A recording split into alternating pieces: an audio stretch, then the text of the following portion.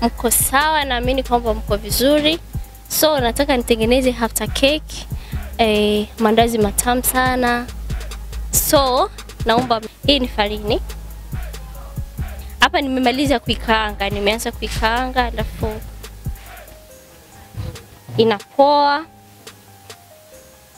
alafu nikimaliza natia yai, natia kama mayai mawili tu.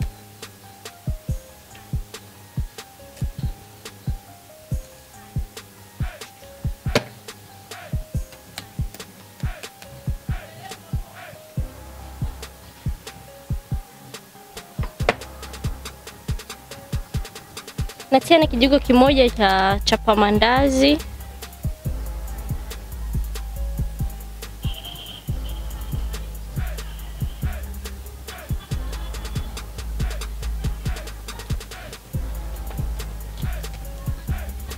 Natia na hii coconut ili ndazi zangu zije ziko na ka kautamu tamu kidogo karadha natia na siklevani. Mbili.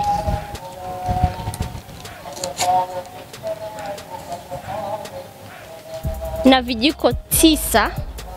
Inatokana sasa na wewe. Ukitaka utatia vinane. Ila mi nimetia vitisa ili ndazi zangu zije ziko tamu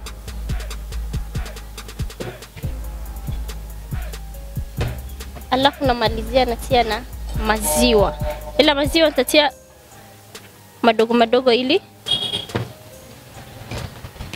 pati yangu ije vizuri, alafu nachanga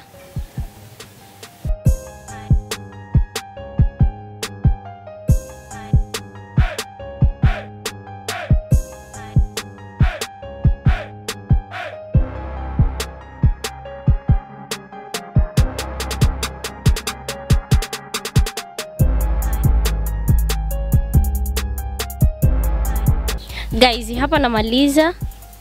Mnaona pate yangu inakuwa nyepesi sana, naona mnaona hapa. Sasa nataka ni ili nikate ndazi zangu kwa pesela ambayo nataka, so nitizame kwa makini, ili mkimaliza kutizama na nyinyi mvifanye maana ni ndazi tamu sana kabisa.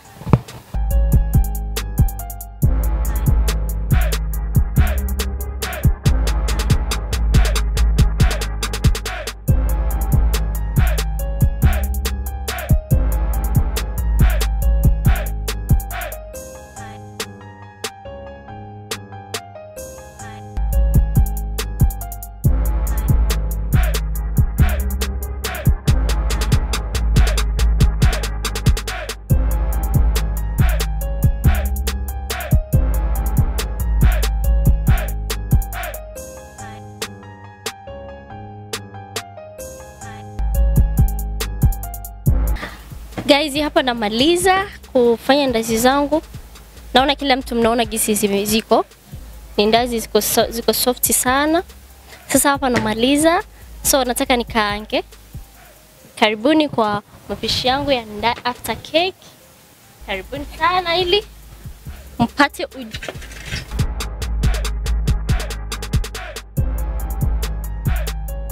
Eh, nataka ni tuanze kaanga sasa. Hapa mafuta yangu nimeyapika yame- yamewiva, yame yamepoa. Sasa narudisha iko ili ndazi zangu zije zi, zimepasuka kwa, kwa ufasaha.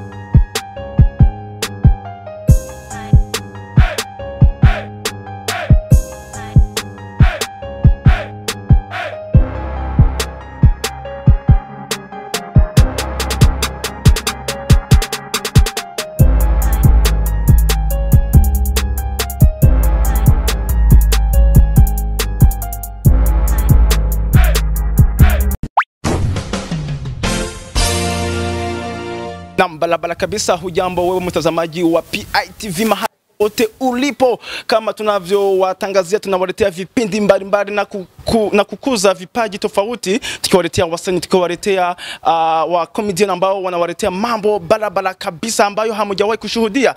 Leo kabisa tunamtembelea binti umoja ambaye ni mjasiriamali ambaye anatengeneza mandazi kabisa hapa jijini Bujumbura, maridadi kabisa. Niko hapa maeneo ya Mtakula ambaye tumemtembelea aweze kutuambia mambo mengi kuhusu anayoyatengeneza. Mko pamoja na Moses Angelo, maridadi kabisa kabisa kama mnavyoona, huu binti ni huyu, tunaona mandazi mbele yake, lakini hatujui ni jinsi anavyotengeneza. Basi kabla ya, ya kwanza uh, awezi kujitambulisha. Vipi wewe, Poa. uko sawa? Yes, Ah, uko poa. sasa. Uh, tunaona kwamba unatengeneza mandazi, sijui unaweza kutuambia uh, lakini kabla tuambie ma, kwa, kwa majina ili watu ambao wanatufuatilia waweze kujua wewe ni nani. Uh, majina naitwa Minion. Um, naishi Bujumbura kama hivi. Um, ni hivyo tu. Kabisa. Minyoni, Uh, kwenye mitandao yako ya kijamii tunaona kwamba wewe ni mpishi, ni kweli? Yes, mimi ni mpishi. Na wewe ndo umetengeneza haya maandazi? Of course, ni Eh. mimi. Eh, basi tuambie uh, ni jinsi gani mnavyoweza kutengeneza maandazi kama haya? Okay, hii ni farini. Hapa nimemaliza kuikaanga, nimeanza kuikaanga alafu inapoa. Alafu nikimaliza natia yai, natia kama mayai mawili tu.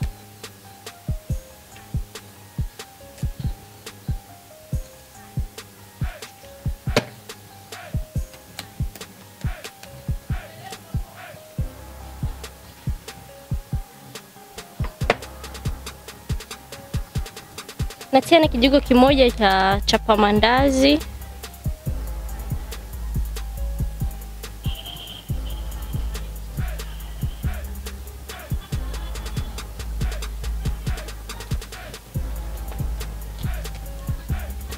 na hii coconut ili ndazi zangu zije ziko na ka kautamu tamu kidogo. Karadha natia na siklevani mbili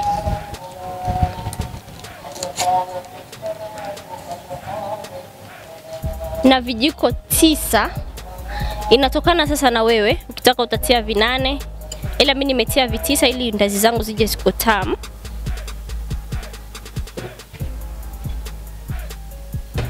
Alafu namalizia natia na maziwa, ila maziwa nitatia madogo madogo ili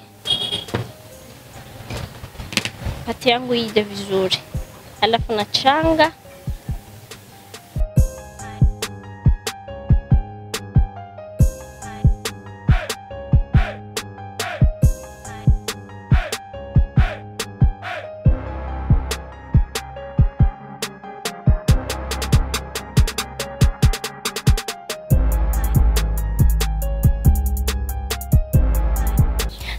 hapa namaliza.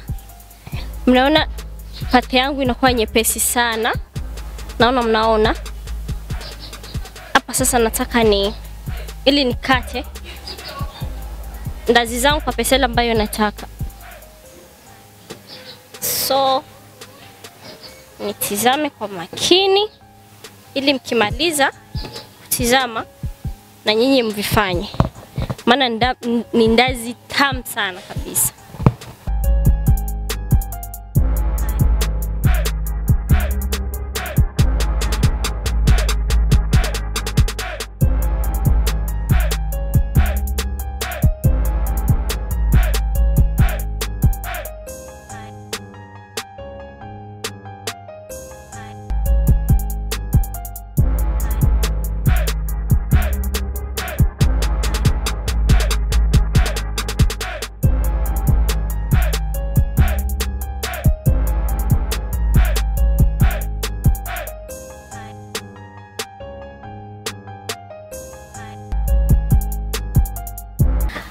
Guys, hapa namaliza kufanya ndazi zangu. Naona kila mtu mnaona gisi ziko ni ndazi ziko, so, ziko soft sana. Sasa hapa namaliza so nataka nikaange.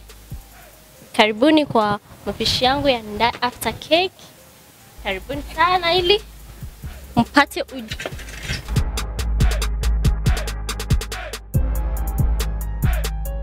Eh, nataka ni tuanze kaanga sasa. Hapa mafuta yangu nimeyapika yame- yamewiva, nilia- yamepoa. Sasa narudisha iko ili ndazi zangu zije zi, zimepasuka kwa, kwa ufasaha.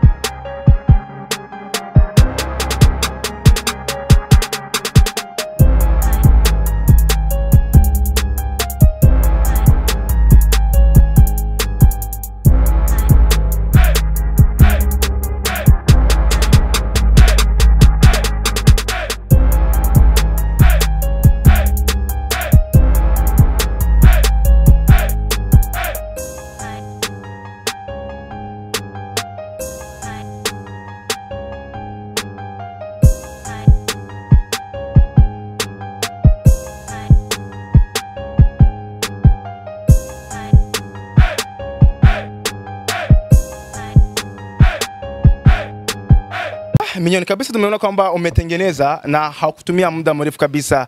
Hebu tuambie kwa wale ambao hawajakuzoea, hii kazi ulianza lini? Ah, hii kazi namaliza kama miaka takriban miaka kama minne hivyo. Mm. Ndipo ulipoanza kuwa unatengeneza mandazi kama hayo au kuna vitu fulani mbalimbali ambavyo unavitengeneza? Well, mimi natengeneza vitu vingi. Mm -hmm. Natengeneza uh, ini maandazi yangu yanaitwa after cake. mm -hmm. Natengeneza hamburger. mm -hmm. Natengeneza na vitu vingine kama chakula, pilau Mm. na vitu vingine vingi tu. mm. Sio hivi peke yake ambayo unaona. mm. Yeah. Ah, kama pesa ya kununua vifaa ni kama ngapi ukijaribu kutuelezea? vinatokana na vitu ambavyo nataka kununua kama mm. hivi nili kama elfu arobaini hivyo Alfu ah, arobaini. Ah, so, tunaona kwamba hu, huu ni mradi ambao umeanzisha hivi. Una shop kama mtu ambaye anahitaji kujua ah, mahali unapo uh, unapoendesha kazi yako anaweza kupata kivipi? Mm, mimi sijapata sehemu ya kusema nikae mm -hmm. but nikae wao wananikuta hapo mm -hmm. kama duka au nini lakini mimi ukinitaka kwa watu ambao wananizoea huwa wananiita mm -hmm. na wafanyia vya kwao wanataka kama wana masherehe kama birthday na vitu vingine kama kama sherehe madogo madogo wanataka wananiita na vifanya alafu wananipa changu mm -hmm. naondoka Ah, hivi kabisa unakuwa unapata wateja. Yes, Ah. nawapata kabisa, namshukuru Mungu. Sasa utofauti wa mandazi yako na yale ambayo tunayopata uh, yanayopatikana madukani, utofauti ni upi? Yeah, utofauti upo kwa sababu mandazi yangu unakuja ni matamu sana. Hata wewe ukijaribu utasikia una, ukijaribu hili la kwangu alafu unaenda unanunua na zingine utaona utofauti uko. Hivi nionje kabisa. Yeah. Tusikie kabisa eh? Mm, mm, mm. Ndio unaambia unasikia tofauti kwa wapi? Wafuasi wetu kabisa, mandazi ya minyoni ni matamu sana. Yeah. Mm-mm. Sasa um, tumeona kabisa umetumia mayai eh, mambo na vifaa vingine ambavyo vina bei ya hali ya juu. Hivi kabisa hauna, ho, ha, ha, hauna hofu kwamba unaweza kupata uh, hasara? Hasara hawako kwa watu ambao mm. wanazoea vitu vyangu au kazi zangu Mm. huwa wananilipa vizuri mm -hmm. but wanaona kwamba eh, vilitengenezwa kwa gharama Mm. na wao wananilipa vizuri, sijapata kuwa na hasara yeah. Mm. Sasa kama unapofanya hii kazi yako, nia yako ni ipi? nia yangu ni kuwa na sehemu naona hivi mm. hivi nakuwa naenda sehemu wananiita lakini inabidi mimi nifanye kazi kwa bidii ili mm. kesho niwe na sehemu yangu mimi mm. ambao wanakuja hao ambao walikuwa wananiita tofauti mm. wanakuja wananikutana sehemu yangu Mm. hiyo ndio target yangu yeah. kabisa. Uh, katika kipindi kilichopita ulituambia kwamba wewe ni mpishi. Hivi hiyo kazi yako unaiendelea wapi? Mm, si Mahali unapofanyia kazi yako ya kupika, sijui kwamba wewe ni mfanyakazi wa hoteli, sijui kwamba wewe ni wa nyumbani, mambo kama hayo unayafanyia wapi? Uh, mimi mambo yangu huwa nafanya pakuja watu wa- wanatoka Ulaya wanakuja ku Burundi Diaspora kabisa. Yes. Naenda na baki huko nawafanyia vitu kama hivyo unavisikia alafu wakirudi kwao na mimi wananilipa narudi nyumbani. Mm. Hiyo ndio kazi yangu mara nyingi huwa nafanya, au pakiwa masherehe kama harusi mm.